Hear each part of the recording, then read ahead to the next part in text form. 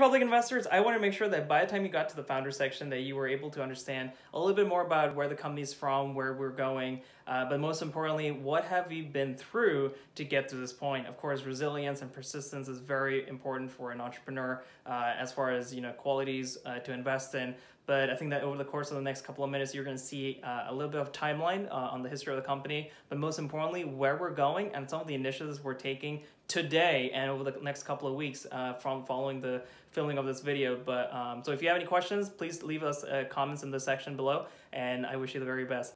All right, so the original idea for the company back in 2017 was to build an app essentially for social media marketing individuals and professionals who are on the go. We quickly realized that pivoting to a desktop made perfect sense and we continued uh, going from there. Now in 2018, unfortunately, we had to let go of our CTO and a very close friend of mine, uh, mainly because it just wasn't a good fit. Um, and uh, with $12,000 left in the bank, we had less than six months of runway. Uh, we decided to plow all of it into a new dev team working offshore and uh, so that we can continue building a great product for small businesses. Uh, in the midst of that, I ended up finding a full-time job that allowed me to put food on the table, allowed uh, us to continue de uh, developing the product itself. We did not give up no matter what. Uh, towards the beginning of 2019, uh, ended up meeting some incredible individuals, one of whom invested $25,000 in the company. We continued spending on products and making sure that you know we were building a great product that was future-proof, uh, again, to support small businesses with a categorically new product.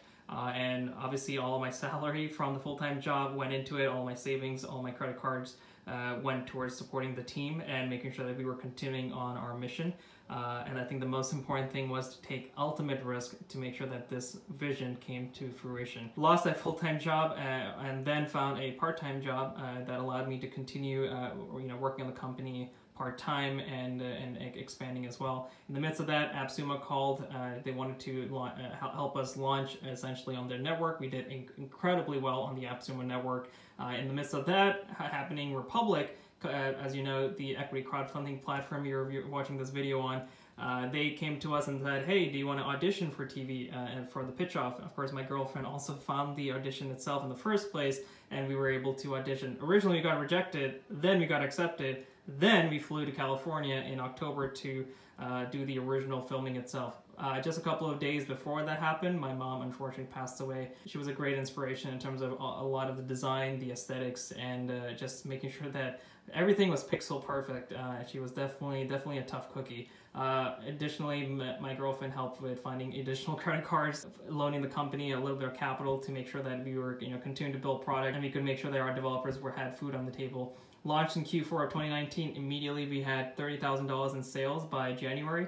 Uh, we then, uh, in 2020, beginning of 2020, we launched the Republic campaign the first time around. Of course, you're watching this video on our second campaign. We aired on Meet the Drapers, ended up winning the first round of the, uh, the show itself. Uh, stay tuned for more information. I can't really talk about what ends up happening on the show, but definitely check out the update section. Now, then we closed our first round of funding on Republic and raised about $380,000 which was phenomenal. And then sales to date in the last five months or so of, of launching, which is right here, we've done $135,000 in sales with 4,000 B2B customers from all over the world, and we ship incredible products. Let's take a look at that.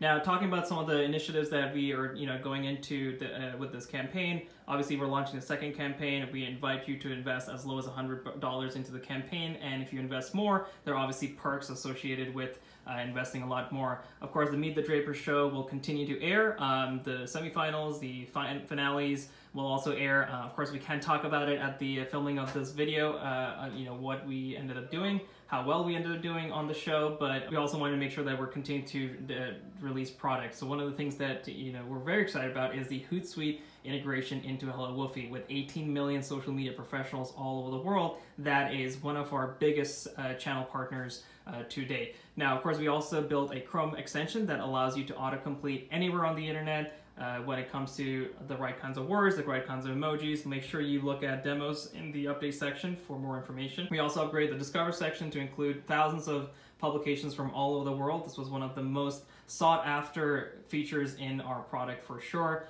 Taking all the amazing data science capabilities we built, we also then decided to build long form content uh, as an editor. What that means is in journal blog, what that means in journal, small businesses can now type entire blog posts uh, press releases using uh, the autocomplete technology and auto suggest for emojis.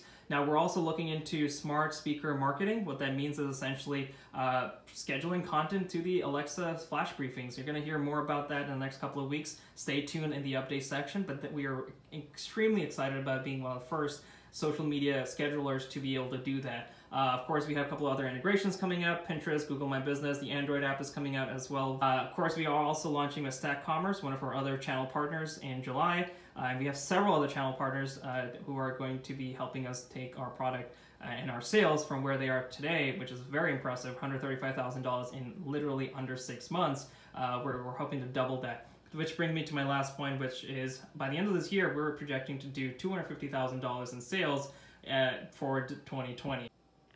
All right, well, there you have it. That's the history of the company. As, as you know, building startups is not easy, but uh, we, we are definitely in it for the long term. We're in it to support small businesses just like ours and just like yours. Um, and so any contribution you make on the equity crowdfunding side of things, make sure you check out the perks. Make sure you read the entire uh, Republic page itself, learn more about the company, learn more about us. And if you have any questions, leave your comments in the discussion section below. Again, thank you so much for spending the time on the, our Republic page, and I wish you the very, very best. Bye bye.